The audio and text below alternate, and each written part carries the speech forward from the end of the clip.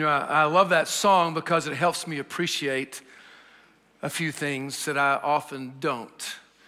Do you know that the most often cited command in all the Bible is not to love God and others, although that is the greatest commandment? The most often cited command in Scripture is not to do good deeds, even though by doing good things we prove that we do have faith.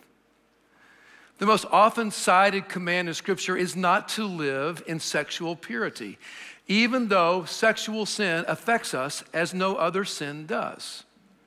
The most often cited command in all of Scripture is two little words fear not. Fear not. Now, why is that? Well, I think it's because God understands that fear is the most basic emotion. It is the most powerful motivator in our lives. And as such, it is something that causes us to be most susceptible to it as a stronghold. Yes, in many ways, fear can be our friend, but it can also be a great nemesis when it is a liar to us. And so uh, whether you are here in the Frisco campus today or you are online or watching in McKinney, I want to say a few things that I think are pretty safe to say. I believe that 100% of us here today, here in the hearing of my voice or watching online, we all have experienced fear at one time in our lives or other. We also, 100% of us, have succumbed to fear in one moment or another. And I think if we were honest, we could all say that I am not all I could be in this moment if fear had not had a foothold in my life at some time.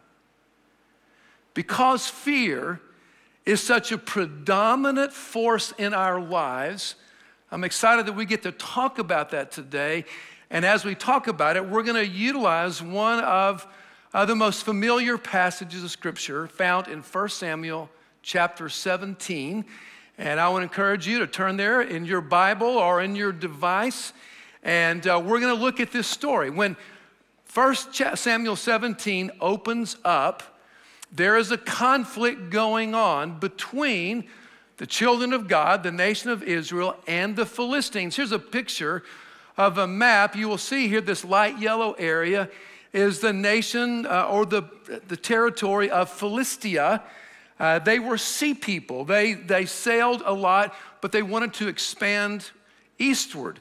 And so there were skirmishes back and forth. And because battles and warring was really a messy deal back in that time frame, they would often do this thing called like a battle of champions. And so one army would select a representative and the other army would select their representative, and they would kind of fight to the death, and kind of winner would take all, you know, it might be money or it might be territory or land. And that's where we are when 1 Samuel 17 opens up. And the setting is the valley of Elah, uh, which is beautiful. And you can see this is the place where uh, the armies of Israel and the armies of the Philistines were kind of on both sides looking down into this valley where they saw Goliath, the champion of the Philistines, kind of go to the center of the ring, and he would cajole and he would trash talk the Israelites to send out their representative. Now, you need to know that Goliath was nine feet tall. That's 27 inches taller than LeBron. His armor weighed 125 pounds, and the javelin, the spear that he used, was the diameter of a soda can, and the tip of it weighed 125 pounds. He was a big dude. And let me tell you, if he saw Conor McGregor at the beach, he would have kicked sand in his face. And quite frankly, that's what he was doing to the Israelites every day because he would come down not once a day, but twice a day. And for 40 days, he was challenging the Israelites, and the Israelites had no taker. No one was willing to fight him until David. David actually wasn't at the front. He was back home being a shepherd boy. His dad put together some care packages for his oldest three sons, and David takes the care packages to the front. And when he gets there, he gets there just in time for the Goliath morning show, and he watches Goliath come out, defy the God of Israel, and to, you know, kind of trash talk them uh, in Philistine talk, and, and the people of God, the soldiers of Israel, would turn and run. And he's going, oh my gosh, this guy's defying our God. He's defying our nation and with impunity. And so David begins to ask questions about this. He also learns at that time that Saul the king was offering a reward for anybody who would go out there. He's trying to, you know, incentivize people to go. And here is the reward. They would get one of his daughters in marriage, and this guy's entire family would be tax exempt for life. Now, David is so intrigued by this reward that he goes and he confirms this with two other groups of soldiers. Well, word gets to Saul that, hey, there's this young guy who wants to fight Goliath. He calls him into HQ and he goes, oh my gosh, this is, you're a kid. And he goes, but wait a minute, I can fight Goliath. God has been with me in the pasture land. I was able to fight and kill a bear and a lion with my own hands. I'm your guy. And so Saul's not quite convinced, so he offers him his armor, his kingly armor, but it's too big for David and it's really kind of awkward and clunky. David takes it off and says, Here, maybe next time. And so he heads out of the tent. On the way to the valley of Elah, he picks up five smooth stones, and there he sees Goliath waiting for him. Now, Goliath is really disappointed that it's David coming to fight him because he's a little pipsqueak and he, and he says this Hey, am I dog that you send a little stick to beat me? Now, and see, Goliath wanted some competition, but as in his mind, this was going to be like Alabama playing a Division II directional school, and it wasn't going to be all that much fun. And so David says, Hey, hey, hey, wait a minute, buddy. You may think I'm a little stick, but today my God is going to conquer you, and I'm going to kill you, and I'm going to cut off your head, and then all of your Philistine brothers are going to end up dead meat. And I mean dead meat because the birds and the animals are going to have them for lunch. And what does David do? He takes one of those smooth stones out and he winds it around his head and he hits Goliath right between the eyes. He does a face plant in the dirt. David gets Goliath's sword, separates his head from his body, and his prophecy is true. The slower Philistines who can't, you know, get to the head of the pack, they are caught by the Israelites and they are killed, and they become a feast for the aviary and animal communities of that part of the world. That's it. It happens. Now, this story is familiar, but there's some really fresh insights to help us understand how to deal with fear when it becomes a stronghold in our lives. Now, before we really delve into it, we need to take a quick look at the nature of fear itself. Fear can be a friend.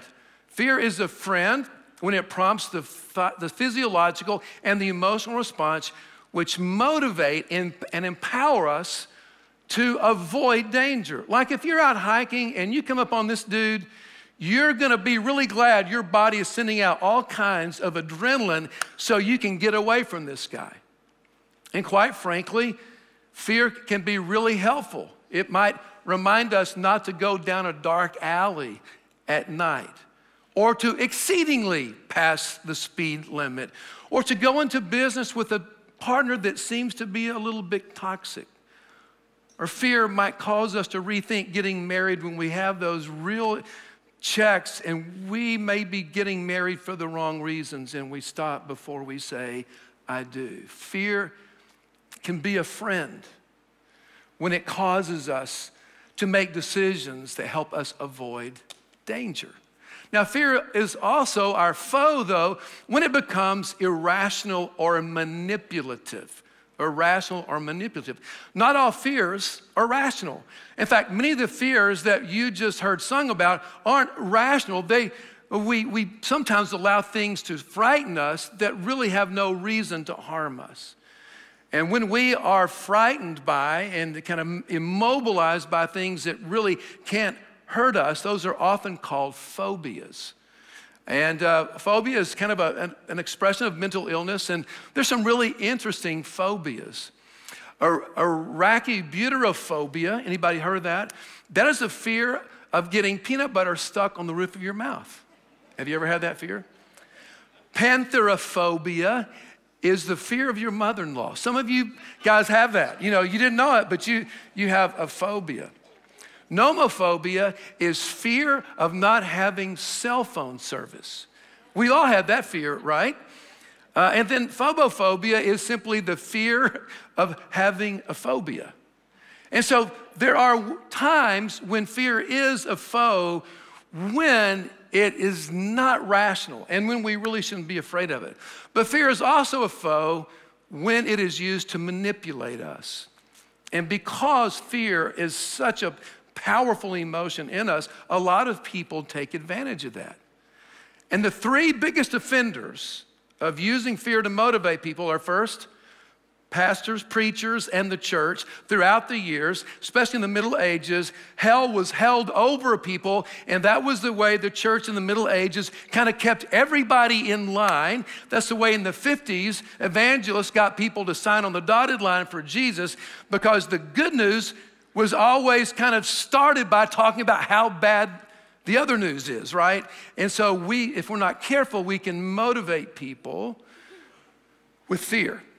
Do you know marketers are the second most guilty of this? Uh, you're going to see a bottle of Listerine. Listerine wasn't selling all that well.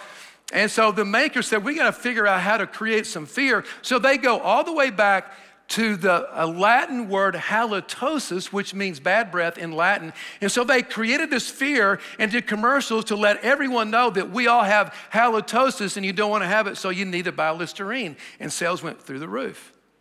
Now, here's the third biggest offender of motivating with fear politicians. And we just got through a bunch of political stuff where we heard one of two messages you're not going to have a country anymore, or democracy is going to be destroyed, right? So we kept hearing this, and what people do is they will elevate and escalate fear in us so that we will vote the way they want us to vote. All right? That gets us all back to always thinking about okay, is this rational or not? Now, there are three signs that I want you to be aware of that will indeed help you recognize whether or not fear is a phobia for you. Not a phobia, fear is a stronghold for you. Here's the first one fear might be a stronghold for you if you find yourself paralyzed by your fear. You might be like all those Israeli soldiers who couldn't respond to Goliath, and they were lining up every day like deer in the headlights. I mean, they were stuck. They didn't know what they were going to do. Who's going to respond? No, you respond. No, I, I can't respond. No, you respond. And they, they were like deer in the headlights, and they couldn't make a decision.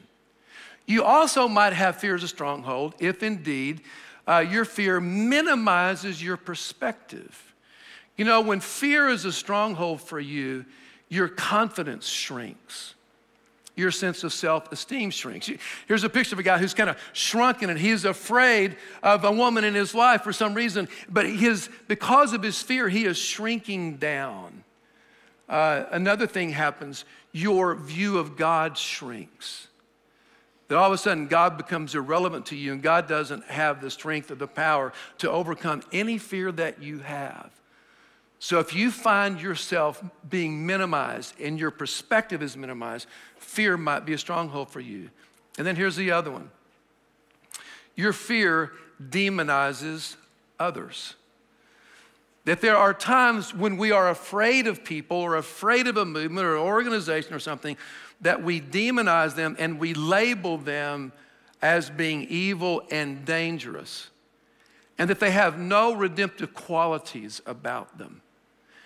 And that if we can do that, what, what that means is, is that now when they thwart us or they threaten us or they hinder us, we can do anything or say anything or write anything on social media about them because they're really like demonic. I have a halo over my head, but the people I demonize, well, they have horns. And when you demonize people, it it gives you a false freedom to do things and say things you would never do otherwise. So if you're demonizing other tribes or other races or other organizations or other political parties, you, you name it, fear is probably a real, has a real foothold in your life. All right? Now, here's the question. This is the one we're asking. This is the money question. So, then how do we break free from fear uh, as a stronghold in our lives? Well, in the story of David, there are three actions. They're simple actions, and they work together. And if you can capture these in your mind uh, as you lead today, I think you're going to have a real weapon in your own arsenal of life that will help you break free from fear. We're gonna, I'm going to talk to you about thinking and about trusting and about acting. So, if you want to break free from the stronghold of fear, you have to start thinking differently. And here is a way you can think differently. You begin to think about the story that fear is telling you.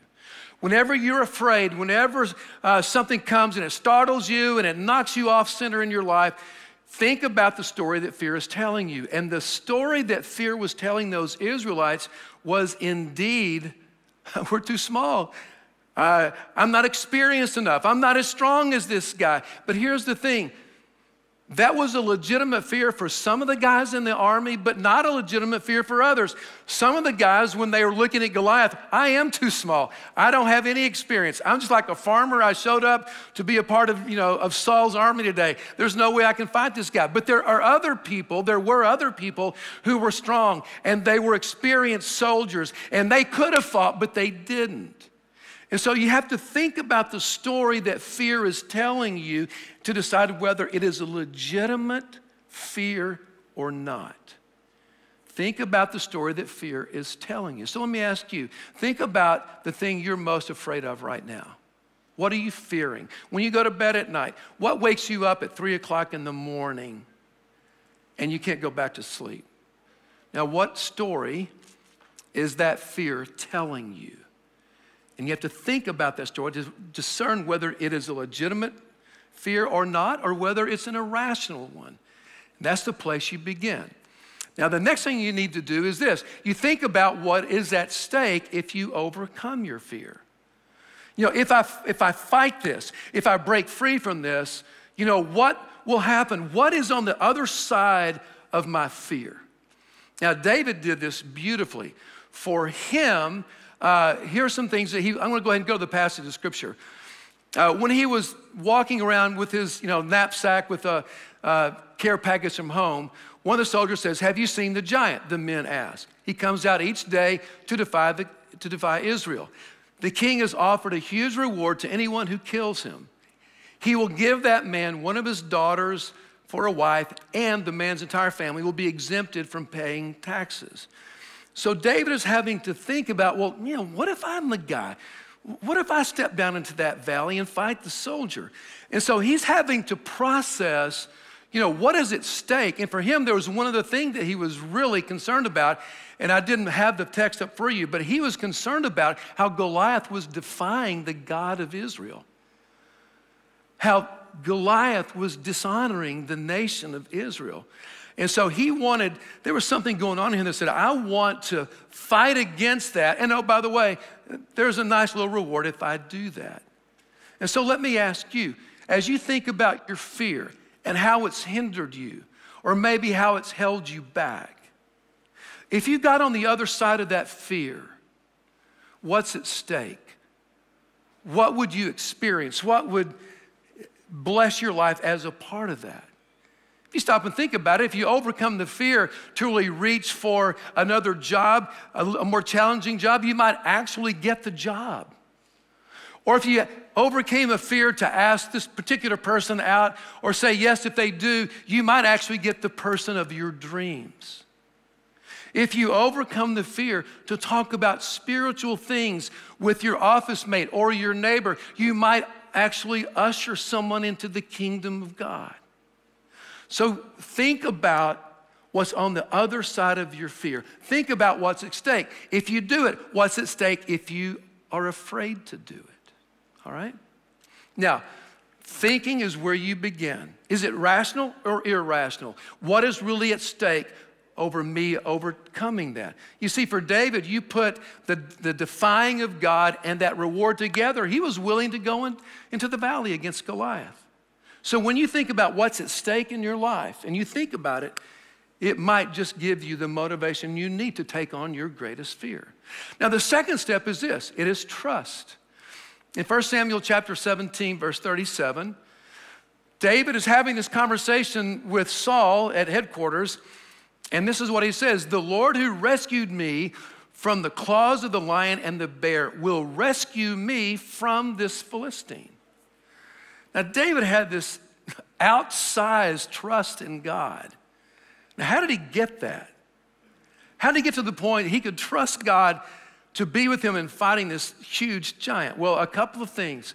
He trusted God's care and love for himself.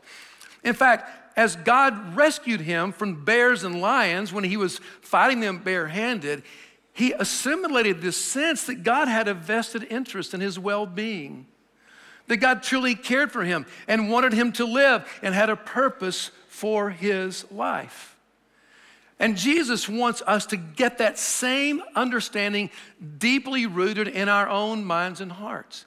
In Matthew chapter 10, verses 29 through 31, Jesus is talking about the exact same thing. What is the price of two sparrows? One copper coin, but not a single sparrow can fall to the ground without your Father knowing it. And the very hairs of your head are all numbered.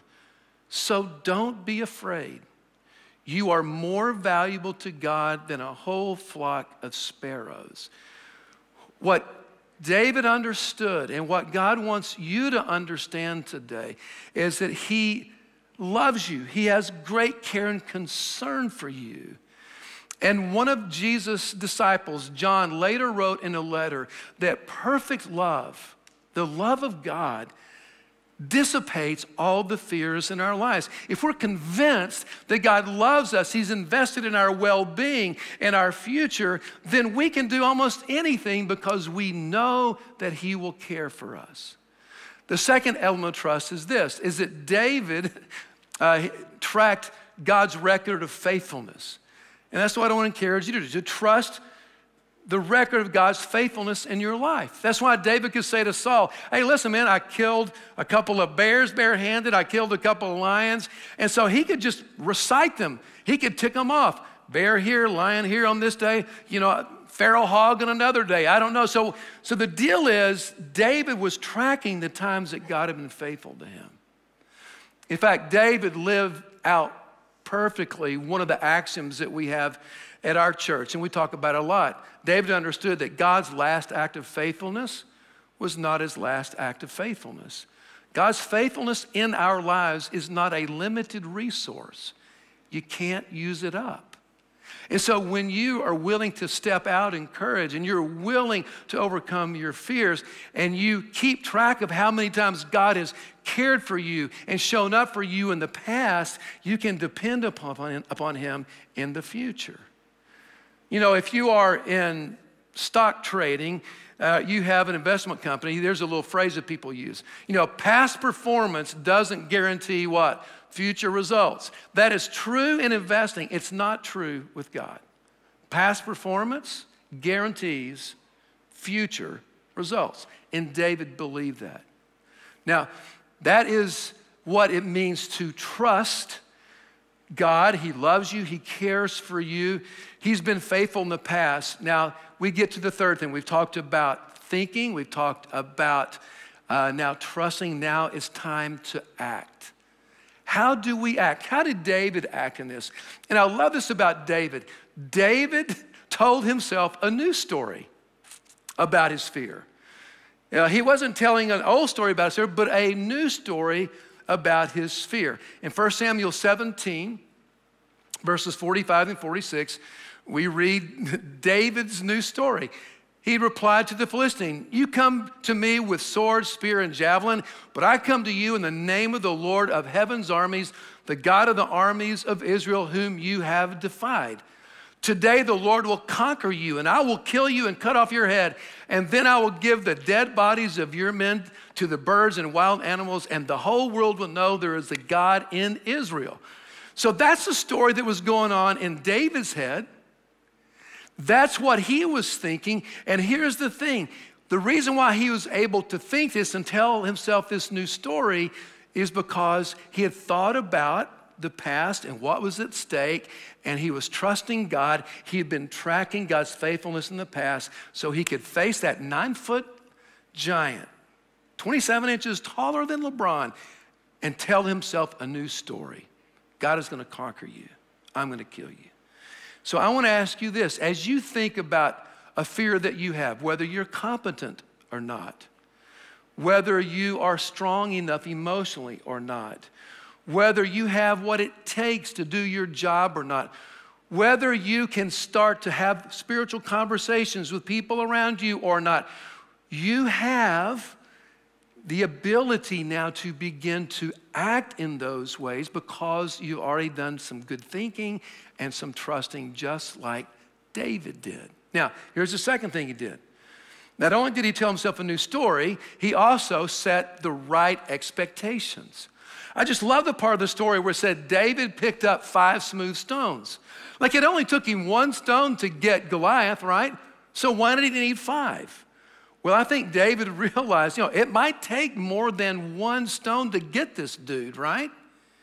And I think sometimes we think when we have strongholds in our lives that all it takes is a little bit of prayer and we can just kind of trust God and boom, you know, He just kind of does it without any effort from us or any process from us. No, but overcoming a fear is also a process. And I think he's saying, look, I, it might take two of these smooth stones, it might take four or five, but he recognized that overcoming Goliath was going to be a process. You know, back in my mid 30s, I uh, developed a fear of flying. And in fact, I had a speaking engagement in central Georgia when I lived down on the west coast of Florida. And I was so overcome by the fear one day, I was supposed to fly there. I went right by the airport and I kept on driving. I just, I, I was afraid. And when I finally was able to overcome that fear, a lot of it by doing some rational thinking about flying, my friend Don Corley, who is a psychologist, said, Jim, you need to realize something.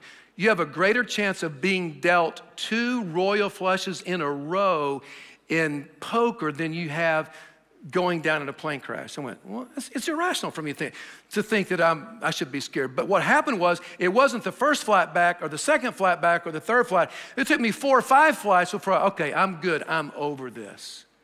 And so set your expectations. You might not overcome this fear tomorrow simply because you heard a message on this. It may take you a while as you tell yourself the new story, as you trust in God, and as you seek to move forward. Set your expectations correctly.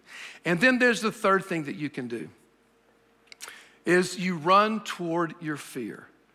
I love verses 48 and 49 of chapter 17. As Goliath moved closer to attack, David quickly ran out to meet him.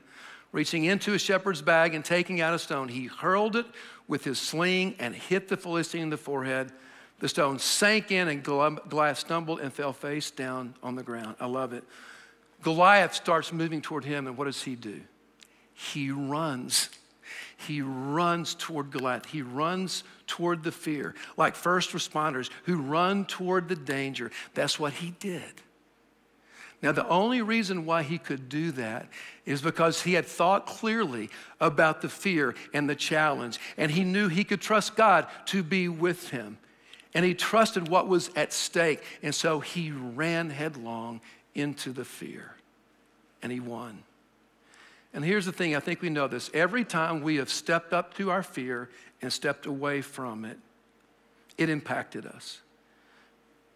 We limp a little bit because we have not been courageous and have not stepped up when we were afraid of illegitimate or irrational things. And that's what David did. That's what God wants for you. He wants for you the ability to face up to the fears that you have in life. The fear is from without and the fear is from within. And to live a life that is full and free because you think well and you trust God implicitly and you're willing to act upon all that you know and believe. And my hope and prayer for each one of you is that you have that kind of freedom today. So let's close our eyes for a second and just bow our heads. And I want to ask you to do just one simple thing. Just let the one thing that you're most afraid of right now just kind of find its way to your attention. Do you see it? Do you feel it? Is your heart racing a little bit now that you're really holding that in your mind or your palms sweating a little bit? And here's the thing as you think about that, I want to ask you to ask yourself or take an inventory of these things. As you consider that fear, what's the next thing you need to do? It might simply be to think more clearly about that fear. What story is it telling you? What is at stake about you not facing this fear? Or maybe your next step is trusting God. You know He's been faithful in the past, He'll be faithful again. And so maybe your next step to overcome your fear is to act. Is to act. To be willing uh, to go through a process, to be willing to run into your fear like David. Uh, Father, all of us can confess that fear has stymied us in the past, that we have turned away from our fear when we should have walked forward. And Father, today I pray that the example of David will encourage us and inspire us to think and to trust and to act in a faithful way and break free from our fears. In Jesus' name, amen.